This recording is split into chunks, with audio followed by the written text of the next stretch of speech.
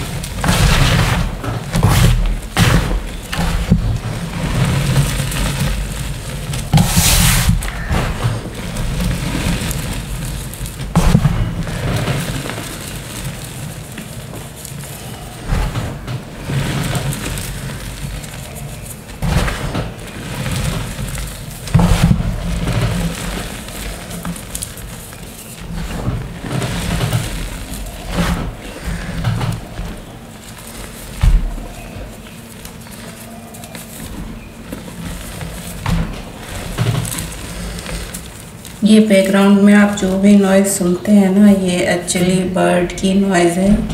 मैं early morning इस समय वीडियो बना रही हूँ ना तो अर्ली मॉर्निंग यहाँ बर्ड की आवाज़ आती है तो वो रिकॉर्ड हो जाती है। कि मैं अर्ली मॉर्निंग वीडियो नहीं बनाती तो नहीं होती है। इस वजह से पीछे आपको इस वीडियो में बर्ड की नॉइज़ सुनाई देगी।